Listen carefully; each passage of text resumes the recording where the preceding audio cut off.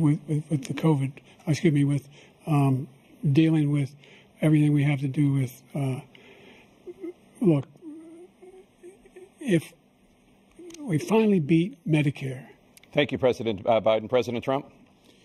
Well, he's right. He did beat Medicare. He beat it to death, and he's destroying Medicare because all of these people are coming in. They're putting them on Medicare. They're putting them on Social Security. They're going to destroy Social Security. This man is going to single handedly destroy Social Security. These millions and millions of people coming in, they're trying to put them on Social Security. He will wipe out Social Security. He will wipe out Medicare. So he was right in the way he finished that sentence. And it's a shame. What's happened to our country in the last four years is not to be believed. Foreign countries, uh, I'm friends with a lot of people. They cannot believe what happened to the United States of America. We're no longer respected.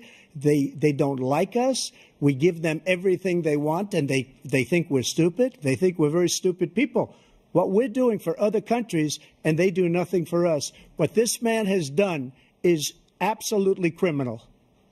Thank you, President.